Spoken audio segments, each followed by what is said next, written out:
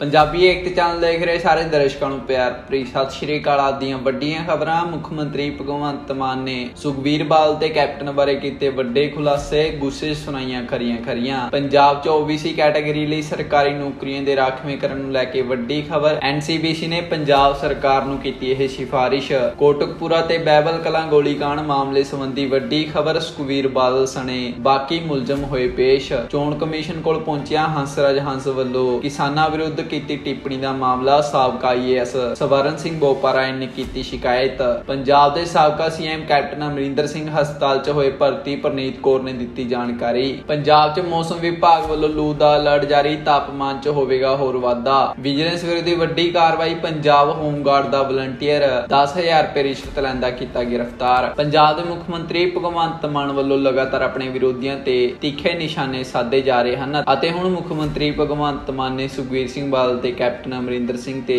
ਵੱਡਾ ਹਮਲਾ ਬੋਲਦਿਆਂ ਕਿਹਾ ਕਿ ਸੁਖਬੀਰ ਸਿੰਘ ਬਾਦਲ ਤਾਪਮਾਨ ਪੁੱਛ ਕੇ ਘਰੋਂ ਨਿਕਲਦੇ ਹਨ। ਜਦੋਂ ਤਾਪਮਾਨ 30 ਡਿਗਰੀ ਦੇ ਕਰੀਬ ਹੁੰਦਾ ਹੈ ਤਾਂ ਉਹ 2 ਘੰਟੇ ਪੰਜਾਬ 'ਚ ਯਾਤਰਾ ਕੱਢਦੇ ਹਨ। ਅਜਿਹੇ ਲੋਕਾਂ ਤੋਂ ਪੰਜਾਬ ਦੇ ਭਲੇ ਦੀ ਆਸ ਕਿਵੇਂ ਰੱਖੀ ਜਾ ਸਕਦੀ ਹੈ? ਮੁੱਖ ਮੰਤਰੀ ਭਗਵੰਤ ਮਾਨ ਨੇ ਸੁਖਬੀਰ ਬਾਦਲ ਤੇ ਕੈਪਟਨ ਅਮਰਿੰਦਰ ਸਿੰਘ ਨੂੰ ਪਹਾੜਾਂ 'ਚ ਉਹਨਾਂ ਦੀਆਂ ਆਲੀਸ਼ਾਨ ਜਾਇਦਾਦਾਂ ਸੁੱਖ ਵਿਲਾਸ ਤੇ ਸਿਸਵਾ ਫਾਰਮ ਬਾਰੇ ਵੀ ਘੇਰਿਆ। ਸੀਐਮ ਮਾਨ ਨੇ ਕਿਹਾ ਕਿ ਪੰਜਾਬ ਤੇ 25 ਸਾਲਾਂ ਤੋਂ ਦੋ ਲੋਕ ਰਾਜ ਕਰ ਰਹੇ ਹਨ, ਪਰ ਉਹਨਾਂ ਨੇ ਦਿੱਤੇ ਭਰੋਸੇ ਤੇ ਜ਼ਿੰਮੇਵਾਰੀਆਂ ਦੀ ਕਦਰ ਨਹੀਂ ਕੀਤੀ। ਹੁਣ ਦੇਖੋ, ਉਹ ਲੋਕ ਕਿੱਥੇ ਹਨ? ਅਤੇ ਉਹਨਾਂ ਕਿਹਾ ਕਿ ਉਹ ਪੰਜਾਬੀ ਪੜ੍ਹ ਲਿਖ ਵੀ ਨਹੀਂ ਸਕਦੇ, ਪਰ ਉਹ ਖੁਦ ਨੂੰ ਪੰਜਾਬ ਦਾ ਵਾਰਿਸ ਸਮਝਦੇ ਹਨ। ਪੰਜਾਬ ਵਿੱਚ ਸਰਕਾਰੀ ਨੌਕਰੀਆਂ ਦੇ ਰਾਖਵੇਂ ਕਰਨ ਨੂੰ ਲੈ ਕੇ ਵੱਡੀ ਖਬਰ ਸਾਹਮਣੇ ਆ ਰਹੀ ਹੈ। ਲੋਕ ਸਭਾ ਚੋਣਾਂ ਵਿਚਾਲੇ ਪੰਜਾਬ ਸਰਕਾਰ ਨੂੰ ਸਰਕਾਰੀ ਨੌਕਰੀਆਂ ਵਿੱਚ OBC ਕੋਟਾ ਵਧਾਉਣ ਦੀ ਸਿਫਾਰਿਸ਼ ਕੀਤੀ ਗਈ ਹੈ। ਪੰਜਾਬ ਸਰਕਾਰ ਨੂੰ NCBC ਵੱਲੋਂ ਸੁਝਾਅ ਦਿੱਤਾ ਗਿਆ ਹੈ। ਪੰਜਾਬ ਵਿੱਚ ਰੋਜ਼ਗਾਰ ਦੇ ਖੇਤਰ ਵਿੱਚ 37% ਦੀ ਰਾਖਵਾਂਕਰਨ ਦਿੱਤਾ ਗਿਆ ਹੈ, ਜਿਸ ਵਿੱਚ ਅਨੁਸੂਚਿਤ ਜਾਤੀਆਂ 25% ਤੇ ਬਾਕੀ ਪਛੜੀਆਂ ਸ਼੍ਰੇਣੀਆਂ ਨੂੰ 12% ਦੀ ਕੋਟਾ ਦਿੱਤਾ ਗਿਆ ਹੈ। ਦੱਸ ਦੇਈਏ, ਹੁਣ ਪੰਜਾਬ ਵਿੱਚ 13% ਦੀ ਕੋਟਾ ਵਧਾਉਣ ਦੀ ਸਿਫਾਰਿਸ਼ ਕੀਤੀ ਗਈ ਹੈ। NCBC ਨੇ ਪੰਜਾਬ ਤੇ ਪੱਛਮੀ ਬੰਗਾਲ ਵਿੱਚ ਪਛੜੀਆਂ ਸ਼੍ਰੇਣੀਆਂ ਲਈ ਰਾਖਵਾਂਕਰਨ ਕੋਟਾ ਵਧਾਉਣ ਲਈ ਕਿਹਾ ਗਿਆ ਹੈ। ਕਮਿਸ਼ਨ ਦਾ ਫੈਸਲਾ, ਮੌਜੂਦਾ ਰਿਜ਼ਰਵੇਸ਼ਨ ਨੀਤੀਆਂ, ਜ਼ੁਬਾਨੀ ਬਿਆਨਾਂ ਤੇ ਦਸਤਾਵੇਜ਼ਾਂ, ਸਬੂਤਾਂ ਦੀ ਸਮੀਖਿਆ ਕਰਨ ਦੇ ਸਾਹਮਣੇ ਆਇਆ ਹੈ, ਜਿਸ ਦਾ ਉਦੇਸ਼ ਇੰਦਰਾਸਾਨੀ ਮਾਮਲੇ ਵਿੱਚ ਸੁਪਰੀਮ ਕੋਰਟ ਵੱਲੋਂ ਦਿੱਤੇ ਗਏ ਨਿਰਦੇਸ਼ਾਂ ਦੀ ਪਾਲਣਾ ਕਰਨਾ ਹੈ। ਇਸ ਸਮੇਂ ਪੰਜਾਬ ਵਿੱਚ ਰੋਜ਼ਗਾਰ ਦੇ ਖੇਤਰ ਵਿੱਚ ਕੁੱਲ 37% ਦੀ ਰਾਖਵਾਂਕਰਨ ਦਿੱਤਾ ਗਿਆ ਹੈ, ਜਿਸ ਨੂੰ 13% ਦੀ ਹੋਰ ਵਧਾ ਕੇ 50% ਕਰਨ ਦੀ ਸਿਫਾਰਿਸ਼ ਰੱਖੀ ਗਈ ਹੈ। ਕੋਟਕਪੁਰਾ ਤੇ ਬੈਬਲ ਕਲਾਂ ਗੋਲੀकांड ਸੰਬੰਧਿਤ ਕੇਸਾਂ ਦੀ ਸੁਣਵਾਈ ਵਧੀਕ ਜ਼ਿਲ੍ਹਾ ਤੇ ਸੈਸ਼ਨ ਜੱਜ ਰਾਮ ਕੁਮਾਰ ਸਿੰਗਲਾ ਦੀ ਅਦਾਲਤ ਵਿੱਚ ਹੋਈ। ਸੁਣਵਾਈ ਦੌਰਾਨ ਮੋਗਾ ਦੇ ਸਾਬਕਾ ਐਸਐਸਪੀ ਚਰਨਜੀਤ ਸ਼ਰਮਾ ਤੇ ਸਹੇਲ ਸਿੰਘ ਬਰਾੜ ਅਦਾਲਤ ਵਿੱਚ ਨਿੱਜੀ ਤੌਰ ਤੇ ਪੇਸ਼ ਹੋਏ। ਜਦਕਿ ਸੁਖਬੀਰ ਸਿੰਘ ਬਾਦਲ, ਪਰਮਰਾਜ ਸਿੰਘ ਉਮਰਾ ਨੰਗਲ, ਸਾਬਕਾ ਐਸਐਸਪੀ ਸੁਖਵਿੰਦਰ ਸਿੰਘ ਮਾਨ ਅਤੇ ਬਾਕੀ ਮੁਲਜ਼ਮਾਂ ਨੇ ਪੇਸ਼ੀ ਵੀਡੀਓ ਕਾਨਫਰੈਂਸਿੰਗ ਰਾਹੀਂ ਭੁਗਤੀ। ਜਾਣਕਾਰੀ ਦੇ ਅਨੁਸਾਰ ਕੇਸ ਵਿੱਚ ਨਾਮਜ਼ਦ ਪੁਲਿਸ ਅਧਿਕਾਰੀ ਚਰਨਜੀਤ ਸ਼ਰਮਾ ਨੇ ਅਦਾਲਤ ਵਿੱਚ ਅਰਜ਼ੀ ਦੇ ਕੇ ਮੰਗ ਕੀਤੀ ਸੀ ਕਿ ਗੋਲੀकांड ਦੌਰਾਨ ਪੁਲਿਸ ਤੇ ਹਮਲਾ ਕਰਨ ਵਾਲੇ ਮੁਲਜ਼ਮਾਂ ਖਿਲਾਫ ਦਰਜ ਕੀਤੇ ਕੇਸ ਦੀ ਪੰਜਾਬ ਤੇ ਹਰਿਆਣਾ ਹਾਈ ਕੋਰਟ ਦੇ ਹੁਕਮਾਂ ਮੁਤਾਬਿਕ ਇਸ ਮਾਮਲੇ ਦੀ ਸਟੇਟਸ ਰਿਪੋਰਟ ਅਦਾਲਤ ਵਿੱਚ ਪੇਸ਼ ਕੀਤੀ ਜਾਵੇ, ਜਿਸ ਤੇ ਅਦਾਲਤ ਨੇ ਇਨ੍ਹਾਂ ਕੇਸਾਂ ਦੀ ਸੁਣਵਾਈ 19 ਜੁਲਾਈ ਤੱਕ ਮੁਲਤਵੀ ਕਰ ਦਿੱਤੀ ਹੈ। ਫਰੀਦਕੋਟ ਹਲਕੇ ਤੋਂ ਭਾਜਪਾ ਉਮੀਦਵਾਰ ਹੰਸਰਾਜ ਹੰਸ ਵੱਲੋਂ ਕਿਸਾਨਾਂ ਬਾਰੇ ਕੀਤੀਆਂ ਤਿੱਖੀਆਂ ਟਿੱਪਣੀਆਂ ਦਾ ਮਾਮਲਾ ਚੋਣ ਕਮਿਸ਼ਨ ਕੋਲ ਪਹੁੰਚ ਗਿਆ ਹੈ।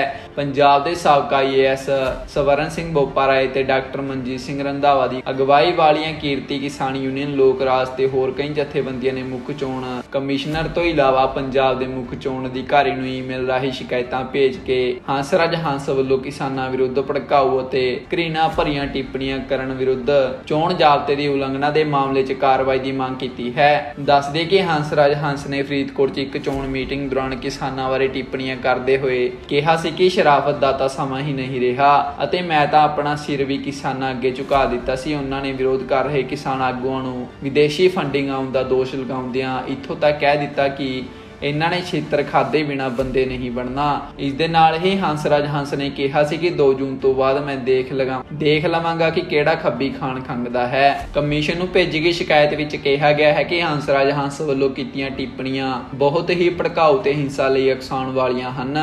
ਉਹਨਾਂ ਕਿਹਾ ਕਿ ਸ਼ਾਂਤਮਈ ਤਰੀਕੇ ਨਾਲ ਸਵਾਲ ਪੁੱਛਣਾ ਕਿਸਾਨਾਂ ਦਾ ਹੱਕ ਹੈ, ਪਰ ਹੰਸਰਾਜ ਹੰਸ ਸਵਾਲਾਂ ਦੇ ਜਵਾਬ ਦੇਣ ਦੀ ਥਾਂ ਕਿਸਾਨਾਂ ਨੂੰ ਸਿੱਧੀਆਂ ਧਮਕੀਆਂ ਦੇਣ ਲੱਗ ਪਏ ਹਨ। ਪੰਜਾਬ ਦੇ ਸਾਬਕਾ ਮੁੱਖ ਮੰਤਰੀ ਕੈਪਟਨ ਅਮਰਿੰਦਰ ਸਿੰਘ ਬਿਮਾਰ ਹੋਣ ਕਾਰਨ ਦਿੱਲੀ ਦੇ ਹਸਪਤਾਲ ਵਿੱਚ ਭਰਤੀ ਹੋਏ ਹਨ। ਇਸ ਦੀ ਜਾਣਕਾਰੀ ਉਹਨਾਂ ਦੀ ਪਤਨੀ ਅਤੇ ਪਟਿਆਲਾ ਤੋਂ ਭਾਜਪਾ ਉਮੀਦਵਾਰ ਪਰਨੀਤ ਕੌਰ ਨੇ ਦਿੱਤੀ ਹੈ। ਪਟਿਆਲਾ ਤੋਂ ਪਹਿਲੀ ਵਾਰ ਭਾਜਪਾ ਦੇ ਉਮੀਦਵਾਰ ਵਜੋਂ ਚੋਣ ਲੜ ਰਹੇ ਸਾਬਕਾ ਕੇਂਦਰੀ ਵਿਦੇਸ਼ ਰਾਜ ਮੰਤਰੀ ਪ੍ਰਨੀਤ ਕੌਰ ਚੋਣ ਪ੍ਰਚਾਰ ਦੌਰਾਨ ਆਪਣੇ ਪਰਿਵਾਰ ਦੀ ਕਮੀ ਮਹਿਸੂਸ ਕਰ ਰਹੇ ਹਨ। ਉਹਨਾਂ ਕਿਹਾ ਕਿ ਉਹਨਾਂ ਦੇ ਪਰਿਵਾਰ ਵਿੱਚ ਪਿਛਲੇ ਦਿਨੀ ਕਈ ਹਾਦਸੇ ਹੋ ਚੁੱਕੇ ਹਨ। ਸਾਬਕਾ ਮੁੱਖ ਮੰਤਰੀ ਕੈਪਟਨ ਅਮਰਿੰਦਰ ਸਿੰਘ ਬਿਮਾਰ ਹਨ। ਉਹਨਾਂ ਦਾ ਦਿੱਲੀ ਵਿੱਚ ਇਲਾਜ ਚੱਲ ਰਿਹਾ ਹੈ। ਬੇਟਾ ਰਣਿੰਦਰ ਵੀ ਪਿਤਾ ਦੇ ਨਾਲ ਹੈ ਅਤੇ ਪਟਿਆਲਾ ਲੋਕ ਸਭਾ ਸੀਟ ਤੋਂ ਭਾਜਪਾ ਦਾ ਕੋਈ ਵਿਧਾਇਕ ਨਾ ਹੋਣ ਕਾਰਨ ਉਹ ਚੋਣ ਪ੍ਰਚਾਰ ਪ੍ਰਣਾਲੀ ਨੂੰ ਜੁਟਾਉਣ ਵਿੱਚ ਲੱਗੇ ਹੋਏ ਹਨ। ਪ੍ਰਨੀਤ ਕੌਰ ਦਾ ਕਹਿਣਾ ਹੈ ਕਿ ਉਹ ਪ੍ਰਚਾਰ ਵਿੱਚ ਡਟੇ ਹੋਏ ਹਨ ਕਿਉਂਕਿ ਪਟਿਆਲਾ ਦੇ ਲੋਕ ਹੀ ਉਹਨਾਂ ਦਾ ਪਰਿਵਾਰ ਹੈ। ਪੰਜਾਬ ਵਿੱਚ ਲਗਾਤਾਰ ਗਰਮੀ ਵਧਦੀ ਜਾ ਰਹੀ ਹੈ। ਦਿਨ ਦਾ ਤਾਪਮਾਨ 43 ਡਿਗਰੀ ਤੱਕ ਪਹੁੰਚ ਗਿਆ ਹੈ, ਜਿਸ ਨੇ ਲੋਕਾਂ ਨੂੰ ਝੁਲਸਾ ਦਿੱਤਾ ਹੈ। ਪਿਛਲੇ 3-4 ਦਿਨਾਂ ਤੋਂ ਗਰਮੀ 'ਚ ਭਾਰੀ ਇਜ਼ਾਫਾ ਵੇਖਣ ਨੂੰ ਮਿਲਿਆ ਹੈ। ਕੜਕਦੀ ਧੁੱਪ ਨੇ ਲੋਕਾਂ ਦਾ ਘਰੋਂ ਬਾਹਰ ਨਿਕਲਣਾ ਵੀ ਮੁਸ਼ਕਿਲ ਕਰ ਦਿੱਤਾ ਹੈ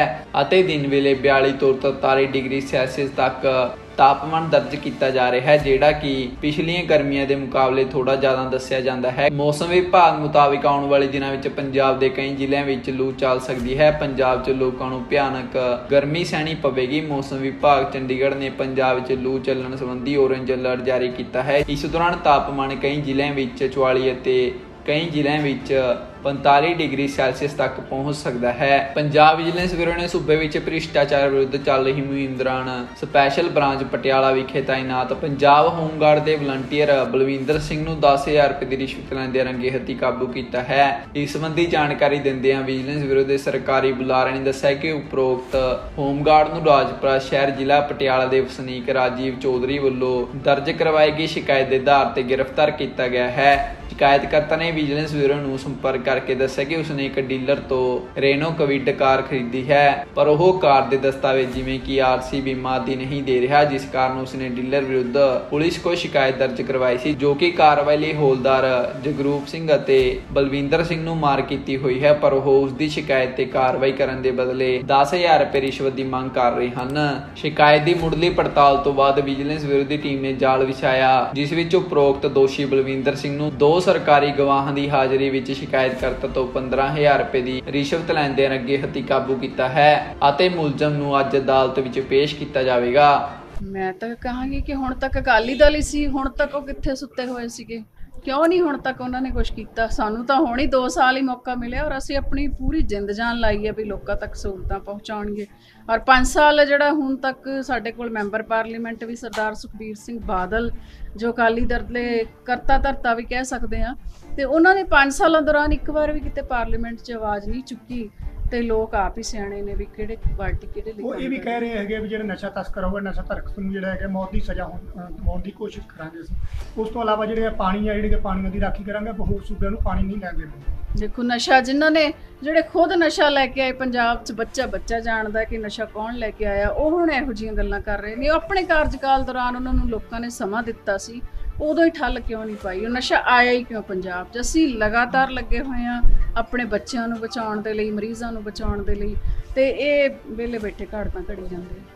ਕੀ ਲੱਗਦਾ ਕਿ ਜਿਹੜਾ ਐਲਾਨਨਾਮਾ ਜਿਹੜਾ ਇਹਨਾਂ ਨੇ ਜਾਰੀ ਕੀਤਾ ਕਿੱਥੋਂ ਕੁ ਤੱਕ ਸਹੀ ਹੋਊਗਾ? ਮੈਨੂੰ ਲੱਗਦਾ ਲੋਕ ਹੀ ਜਵਾਬ ਦੇਣਗੇ ਕਿ ਪਹਿਲਾਂ ਤੁਸੀਂ ਕਿੰਨੀ ਵਾਰੀ ਮੁੱਖ ਮੰਤਰੀ ਸਰਦਾਰ ਪ੍ਰਕਾਸ਼ ਸਿੰਘ ਬਾਦਲ ਰਹੇ ਆ ਤੇ ਉਹ ਉਹਨਾਂ ਦਿਨਾਂ ਦੇ ਵਿੱਚ ਕਿਉਂ ਨਹੀਂ ਇਹਨਾਂ ਨੂੰ ਜਿੱਤਿਆ ਦੂਸਰੇ ਪਾਸੇ ਕਿਸਾਨ ਜਥੇਬੰਦੀਆਂ ਕਹਿ ਰਹੇ ਅਸੀਂ ਆਮ ਆਦਮੀ ਪਾਰਟੀ ਦੇ ਉਮੀਦਵਾਰਾਂ ਨੂੰ ਵੀ ਸਵਾਲ ਕਰਾਂਗੇ ਕਿ ਕਿਸਾਨਾਂ ਲਈ ਨਹੀਂ ਖਰੇ ਉਤਰੇ ਹੈਗੇ ਜਿਹੜੀ ਕਿਸਾਨਾਂ ਨੂੰ ਜਿਹੜੀਆਂ ਸਹੂਲਤਾਂ ਦੇਣਗੇ ਅਸੀਂ ਐਮਐਸਪੀ ਨੂੰ ਲਾਗੂ ਕੀਤੀ ਜਾਏਗੀ ਦੇਖੋ ਕੋਈ ਵੀ ਸਾਨੂੰ ਸਵਾਲ ਖੜਾ ਕਰ ਸਕਦਾ ਹੈ ਲੋਕਾਂ ਦੇ ਹੱਕ ਹੈ ਕਿਸਾਨ ਵੀ ਕਰ ਸਕਦੇ ਨੇ ਪਰ ਕਿਸਾਨਾਂ ਨੂੰ ਇਹ ਗੱਲ ਵੀ ਯਾਦ ਰੱਖਣੀ ਚਾਹੀਦੀ ਹੈ ਵੀ ਜਦੋਂ ਉਹਨਾਂ ਨੇ ਮੋਹਾਲੀ ਦੇ ਵਿੱਚ ਜਿਹੜਾ ਬਹੁਤ ਵੱਡਾ ਰੋਸ ਪ੍ਰਦਰਸ਼ਨ ਹੋਣ ਜਾ ਰਿਹਾ ਸੀ ਮਾਨ ਸਾਹਿਬ ਨੇ ਰਾਤ ਦੇ 2-2 3-3 ਵਜੇ ਤੱਕ ਮੀਟਿੰਗ ਕੀਤੀ ਸੈਂਟਰ ਸਰਕਾਰ ਨਾਲ। ਵੀ ਇਹਨੂੰ ਕਿਤੇ ਨਾ ਕਿਤੇ ਮੈਂ ਸਿਰੇ ਚਾੜ ਦੇਵਾਂ।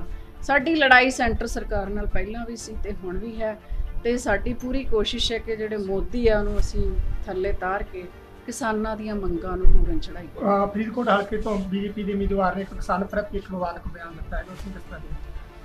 ਮੈਨੂੰ ਨਹੀਂ ਪਤਾ ਵੀ ਉਹ ਉਮੀਦਵਾਰ ਕਿਸ ਤਰ੍ਹਾਂ ਦੇ ਬੇਤੁਕੇ ਚ ਬਿਆਨ ਦਿੰਦੇ ਰਹਿੰਦੇ ਆ ਪਰ ਮੈਨੂੰ ਇਸ ਗੱਲ ਦੀ ਮੈਂ ਨਿਖੇਧੀ ਕਰਾਂਗੀ ਵੀ ਕਦੇ ਵੀ ਕਿਸੇ ਵਰਗ ਦੇ ਖਿਲਾਫ ਨਹੀਂ ਬੋਲਣਾ ਚਾਹੀਦਾ। ਨੈਟਵਰਕ ਤੋਂ ਚਲੋ। ਸਤਿ ਸ਼੍ਰੀ ਅਕਾਲ ਦੋਸਤੋ, ਮੈਂ ਤੁਹਾਡਾ ਆਪਣਾ ਸਿਮਰਜੀਤ ਬੈਂਸ। ਔਰ ਮੈਂ, ਮੇਰਾ ਖਿਆਲ ਹੈ ਕਿ ਅਵੋਇਡ ਕਰਦਾ ਸੀਗਾ ਕਿ ਇਹ ਜਿਹੜੀ ਬੜੀ ਨੀਵੇਂ ਪੱਧਰ ਦੀ ਰਾਜਨੀਤੀ ਉੱਚੀ ਰਾਜਨੀਤੀ, ਔਰ ਨੀਚ ਰਾਜਨੀਤੀ ਵੀ ਇਹਦੇ ਤੋਂ ਆਪਣੇ ਆਪ ਨੂੰ ਬਚਾ ਕੇ ਰੱਖਾਂ। ਮੈਂ ਬੜੀ ਮੀਡੀਆ ਦੇ ਜ਼ਰੀਏ ਇਹ ਰਿਕੁਐਸਟ ਵੀ ਕੀਤੀ ਵੀ ਇਦਾਂ ਦੀ ਰਾਜਨੀਤੀ, ਸ਼ੋਭਾ ਨਹੀਂ ਦਿੰਦੀ। ਮੁੱਦਿਆਂ ਦੀ ਰਾਜਨੀਤੀ ਕਰੋ ਤੁਸੀਂ। ਔਰ ਸਤਕਾਰਯੋਗ ਰਵਨੀਤ ਬਿੱਟੂ ਜੀ। ਤੁਹਾਡੇ ਵੀਰ, ਤੁਸੀਂ ਤਿੰਨ ਵਾਰ ਦੇ ਪਾਰਲੀਮੈਂਟ ਦੇ ਮੈਂਬਰ ਹੋ। ਔਰ ਤੁਸੀਂ ਬਾਰ-ਬਾਰ ਇਉਂ ਮਹਿਸੂਸ ਹੋ ਰਿਹਾ ਵੀ ਤੁਹਾਡੇ ਕੋਲੇ ਕੋਈ ਹੋਰ ਮੁੱਦਾ ਨਹੀਂ ਹੈਗਾ? ਤੁਸੀਂ ਬਾਰ-ਬਾਰ ਇੱਕੋ ਮੁੱਦੇ ਨੂੰ ਫੋਕਸ ਕਰਨ ਦਾ ਯਤਨ ਮੈਂ ਉਹਦੇ ਜਵਾਬ ਦੇਣ ਵਾਸਤੇ ਲਾਈਵ ਹੋਇਆ। ਤੁਹਾਨੂੰ ਵੀ ਪਤਾ। ਮੈਨੂੰ ਵੀ ਪਤਾ ਵੀ ਤੁਸੀਂ ਬੀਜੇਪੀ 'ਚ ਜਾਣ ਤੋਂ ਬਾਅਦ ਮੇਰੇ ਨਾਲ ਕਿੰਨੀ ਦੇਰ ਰਾਬਤੇ 'ਚ ਰਹੇ।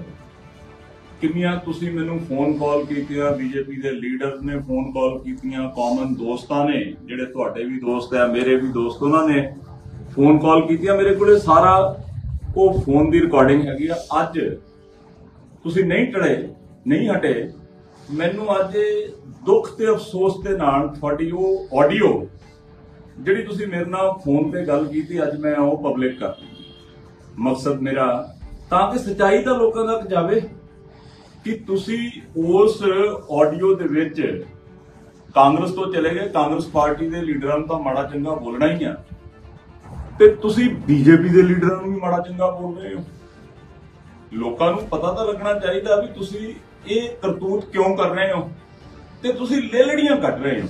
ਲਿਟਰਲੀ ਮਿੰਤਾਂ, ਤਰਲਿਆਂ ਵਾਲੀ ਤੁਸੀਂ ਉਹ ਆਡੀਓ ਕਿ ਬੈਂਸ ਮੇਰੀ ਮਦਦ ਕਰਦੇ। ਸੋ ਮੈਂ ਸਿਨੇਮਰ ਬੇਨਤੀ ਰਵਨੀਤ ਬਿੱਟੂ ਜੀ ਕਰੂੰਗਾ। ਜੇ ਤਾਂ ਸਿਮਰਜੀਤ ਬੈਂਸ ਆ ਜਾਂਦਾ ਤੁਹਾਡੇ ਨਾਲ, ਜਿਵੇਂ ਤੁਸੀਂ ਗਿੜਗੜਾਉਂਦੇ ਸੀਗੇ, ਤੁਸੀਂ ਤਰਲੇ, ਮਿੰਤਾਂ ਕੀਸੀ ਕਰਦੇ ਸੀ, ਫਿਰ ਤਾਂ ਮੈਂ ਸੀਗਾ ਪਾਕ ਸਾਫ਼ ਸੱਚਾ ਸੁੱਚਾ ਅਗਲਾ ਭਗਤ ਤੇ ਜੇ ਸਿਮਰਜੀਤ ਬੈਂਸ ਬਿੱਟੂ ਜੀ ਹੋਰਾਂ ਦੇ ਨਾਲ ਨਹੀਂ ਗਿਆ, ਤੇ ਫਿਰ ਉਹ ਬਲਾਤਕਾਰੀ ਵੀ ਆ, ਉਹ ਬਿਜਲੀ ਚੋਰ ਵੀ ਆ, ਉਹ ਟੈਕਸ ਚੋਰ ਵੀ ਆ, ਉਹ ਜ਼ਮੀਨਾਂ ਜਾਇਦਾਦਾਂ ਤੇ ਕਬਜ਼ੇ ਕਰਨ ਵਾਲਾ ਵੀ, ਉਹ ਨਸ਼ਾ ਵੇਚਣ ਵਾਲਾ ਵੀ ਆ। ਮੈਂ ਤੁਹਾਡੇ ਲਈ ਬਿੱਟੂ ਜੀ ਇੱਕ ਗੁੱਸਾ ਨਾ ਮੇਰੀ ਗੱਲ ਦਾ ਕਰਿਓ। ਤੁਸੀਂ ਉਮਰ ਦੇ ਤਕਾਜ਼ੇ ਨਾਲ, ਅਹੁਦੇ ਦੇ ਤਕਾਜ਼ੇ ਨਾਲ ਤਿੰਨ ਵਾਰ ਪਾਰਲੀਮੈਂਟ ਮੈਂਬਰ ਜਿਹੜੇ ਲੋਕ ਤੁਹਾਨੂੰ ਨਹੀਂ ਮਿਲੇ, ਉਹ ਕਹਿੰਦੇ ਹੋਣਗੇ ਬੜਾ ਬੁੱਧੀਜੀਵੀ ਆ। ਤੇ ਜਿਹੜੇ ਤੁਹਾਨੂੰ ਮਿਲਦੇ ਆ ਤੁਸੀਂ ਬੜੇ ਸੂਟਡ ਬੂਟਡ ਪਰਸਨੈਲਿਟੀਡ ਉਨੀ ਦੇਰ ਤੱਕ ਤੁਹਾਡੀ ਪਰਸਨੈਲਿਟੀ ਕਾਇਮ ਰਹਿੰਦੀ, ਜਿੰਨੀ ਦੇਰ ਤੱਕ ਤੁਸੀਂ ਬੋਲਦੇ ਨਹੀਂ। ਜਦੋਂ ਤੁਸੀਂ ਚਾਰ ਬੰਦਿਆਂ ਦੇ ਵਿੱਚ ਬੋਲਦੇ ਹੋ ਤੇ ਤੁਹਾਡਾ ਬੋਲਣ ਦਾ ਲਹਿਜਾ ਜਮਨ ਚਬੜ ਹੁੰਦਾ ਇਮੈਚੁਰ ਮਤਲਬ ਕਿਸੇ ਢੰਗ ਸਿਰ ਦੀ ਕੋਈ ਗੱਲ ਨਹੀਂ। ਮੈਂ ਤੁਹਾਨੂੰ ਮਿੰਟ ਤੋਂ ਬਾਅਦ ਅਬਜ਼ਰਵ ਕੀਤਾ। ਐਂਡ ਮੈਂ ਇਹ ਗੱਲ ਆਪਣੇ ਦੋਸਤਾਂ ਨਾਲ ਸ਼ੇਅਰ ਵੀ ਕੀਤੀ। ਵੀ ਯਾਰ ਇੱਕ ਉਮਰ ਦਰਾਜ਼ 40 ਸਾਲ ਤੋਂ ਉੱਤੋਂ ਦਾ ਤਿੰਨ ਵਾਰ ਦਾ ਮੈਂਬਰ ਪਾਰਲੀਮੈਂਟ ਉਹਨੂੰ ਤਾਂ ਪਤਾ ਹੀ ਨਹੀਂ ਲੱਗਦਾ ਵੀ ਮੈਂ ਬੋਲ ਕੀ ਰਿਹਾ।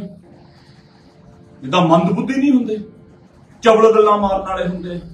ਮੈਂ ਨਿੰਦਕ ਨਹੀਂ ਤੁਹਾਡਾ, ਮੈਂ ਰਿਸਪੈਕਟ ਕਰਦਾ। ਤੁਸੀਂ ਤਿੰਨ ਵਾਰ ਦੇ ਸਾਡੇ ਪਾਰਲੀਮੈਂਟ ਮੈਂਬਰ ਪੰਜਾਬ ਤੋਂ ਚੁਣ ਕੇ ਗਏ ਹੋ। ਲੋਕਤੰਤਰ ਦੇ ਅੰਦਰ ਵੋਟਾਂ ਦਾ ਮਹੱਤਵ ਹੁੰਦਾ। ਤੁਸੀਂ ਵੋਟਾਂ ਨਾਲ ਚੁਣ ਕੇ ਤਿੰਨ ਵਾਰੀ ਪਾਰਲੀਮੈਂਟ ਮੈਂਬਰ ਬਣੇ ਪਰ ਸੌਰੀ ਮੈਨੂੰ ਇਹ ਸ਼ਬਦ ਇਸ ਲਈ ਬੋਲਣੇ ਪਏ।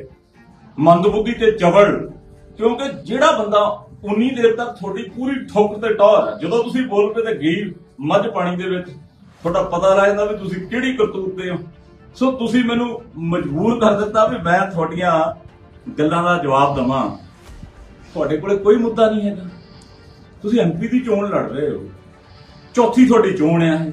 ਨਾ ਤੁਹਾਡੇ ਕੋਲੇ ਕੋਈ ਮੁੱਦਾ, ਨਾ ਕਾਲੀਆਂ ਦੇ ਕੋਲੇ ਕੋਈ ਮੁੱਦਾ ਤੇ ਨਾ ਝਾੜੂ ਕੰਪਨੀ ਦੇ ਕੋਲੇ ਕੋਈ ਮੁੱਦਾ। ਉਹਨਾਂ ਨੂੰ ਬੈਂਸ ਫੋਬੀਆ ਸਮੇਤ ਤੁਹਾਡੇ, ਤੁਹਾਨੂੰ ਜ਼ਿਆਦਾ ਹੋਇਆ ਹੋਇਆ ਬੈਂਸ ਫੋਬੀਆ ਹੋ ਗਿਆ। ਰਾਤ ਨੂੰ ਵੀ ਸੁਪਨਿਆਂ ਦੇ ਵਿੱਚ ਬੈਂਸ ਦੇ ਸੁਪਨੇ ਆਉਂਦੇ, ਕਦੇ ਪਾਰਲੀਮੈਂਟ ਦੀ ਚੋਣ ਲੜ ਰਿਹਾ ਬੰਦਾ ਮੁੱਦਿਆਂ ਦੀ ਗੱਲ ਕਰਦਾ, ਤੁਸੀਂ ਇੱਕ ਵਾਰੀ ਗੱਲ ਕਰ ਲਈ ਦੈਟਸ ਆਲ ਤੁਸੀਂ ਫਿਰ ਦੁਬਾਰਾ ਉਹੀ ਫੜ ਲਈ। ਇੱਥੋਂ ਸਾਫ਼ ਤੇ ਸਪਸ਼ਟ ਹੁੰਦਾ ਕਿ ਤੁਹਾਡੇ ਕੋਲੇ ਹੋਰ ਕੋਈ ਮੁੱਦਾ ਨਹੀਂ। ਇੱਥੋਂ ਸਾਫ਼ ਤੇ ਸਪਸ਼ਟ ਹੁੰਦਾ ਕਿ ਤੁਹਾਡੀ ਇਨਸਿਕਿਉਰਿਟੀ ਫੀਲਿੰਗ ਅਸੁਰੱਖਿਅਤ ਮਹਿਸੂਸ ਕਰ ਰਹੇ ਹੋ ਤੁਸੀਂ।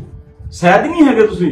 ਤੁਸੀਂ ਅਸੁਰੱਖਿਅਤ ਮਹਿਸੂਸ ਕਰਦੇ ਹੋਏ ਫਰਸਟ੍ਰੇਸ਼ਨ ਦੇ ਵਿੱਚ ਤੁਹਾਡੀ ਫਰਸਟ੍ਰੇਸ਼ਨ ਹਤਾਸ਼ਪੁਣਾ ਸਪਸ਼ਟ ਝਲਕਦਾ। ਉਹ ਹਤਾਸ਼ਪੁਣਾ ਕੀ ਆ? ਚਾਹੇ ਤੁਸੀਂ ਮੀਡੀਆ ਨੂੰ ਪੁੱਛ ਲਓ ਜਨ ਸਧਾਰਨ ਆਮ ਲੋਕਾਂ ਨੂੰ ਪੁੱਛ ਲਓ ਚਾਹੇ ਤੁਸੀਂ ਸਰਕਾਰੀ ਖੁਫੀਆ ਤੰਤਰ ਨੂੰ ਪੁੱਛ ਲਓ ਤੁਸੀਂ ਕੇਂਦਰ ਦੀ ਖੁਫੀਆ ਤੰਤਰ ਨੂੰ ਪੁੱਛ ਲਓ ਵੀ ਤੁਹਾਡੇ ਪੱਲੇ ਕੀ ਰਹਿ ਗਿਆ? ਕਹਿਣਾ ਚਾਹੋਗੇ ਅਕਾਲੀ ਦਲ ਵੱਲੋਂ ਉਮੀਦਵਾਰ ਉਤਾਰੇ ਨਹੀਂ ਗਿਆ ਦੁਬਾਰਾ ਚੰਡੀਗੜ੍ਹ ਦੇ ਵਿੱਚ। ਦੇਖੋ ਜੀ ਉਤਾਰ ਵੀ ਦਿੰਦੇ, ਫੇਰ ਅਕਾਲੀ ਦਲ ਨੇ ਕੀ ਕਰ ਲੈਣਾ ਸੀ? ਕਿਉਂਕਿ ਉਹਨਾਂ ਨੂੰ ਪਤਾ ਵੀ ਜ਼ਮਾਨਤ ਜ਼ਬਤ ਹੋਣੀ ਹੈ। ਜਿੱਥੇ ਉਤਾਰੇ ਵੀ ਹੈ, ਜ਼ਿਆਦਾ ਮੈਨੂੰ ਉੱਥੇ ਦੱਸੋ ਵੀ ਕਿੱਥੋਂ ਜ਼ਮਾਨਤ ਜਿਹੜੀ ਹੈ ਬਚ ਰਹੀ ਹੈ। ਅੱਜ ਦੀ ਘੜੀ ਅਕਾਲੀ ਦਲ ਸਿਰਫ ਇਹ ਲੜਾਈ ਲੜ ਰਿਹਾ ਹੈ ਵੀ ਕਿਸੇ ਤਰੀਕੇ ਜਿਹੜੀ ਜ਼ਮਾਨਤਾਂ ਨੇ, ਉਹ ਜਿਹੜੀਆਂ ਬਚ ਜਾਣ। ਕਿਉਂਕਿ ਜੇ ਅਕਾਲੀ ਦਲ ਦੀ ਸਥਿਤੀ ਚੰਗੀ ਹੁੰਦੀ ਫਿਰ ਸੁਖਬੀਰ ਸਿੰਘ ਬਾਦਲ ਸਿਟਿੰਗ ਐਮਪੀ ਹੋ ਕੇ ਪਾਰਟੀ ਪ੍ਰਧਾਨ ਹੋਵੇ ਇਲੈਕਸ਼ਨ ਲੜਨ ਤੋਂ ਨਾ ਭੱਜਦੇ। ਇਸੇ ਕਰਕੇ ਬੀਬਾ ਹਰਸਿਮਰਤ ਕੌਰ ਬਾਦਲ ਜੀ ਦੀ ਟਿਕਟ ਜਿਹੜੀ ਸਭ ਤੋਂ ਲਾਸਟ ਤੇ ਅਨਾਉਂਸ ਕੀਤੀ ਹੈ। ਨਹੀਂ ਬੀਬਾ ਜੀ, ਤਿੰਨ ਵਾਰ ਦੇ ਸਿਟਿੰਗ ਐਮਪੀ ਸੀ, ਉਹਨਾਂ ਦੀ ਟਿਕਟ ਤਾਂ ਪਹਿਲੀ ਵਾਰ ਦੇ ਵਿੱਚ ਆ ਜਾਣੀ ਚਾ- ਚਾਹੀਦੀ ਸੀ, ਪਰ ਬੜੇ ਕਨਫਿਊਜ਼ਡ ਸੀ ਵੀ ਬਠਿੰਡਾ ਲੜੀਏ, ਖਡੂਰ ਸਾਹਿਬ ਲੜੀਏ ਕਿ ਫਿਰੋਜ਼ਪੁਰ ਲੜੀਏ।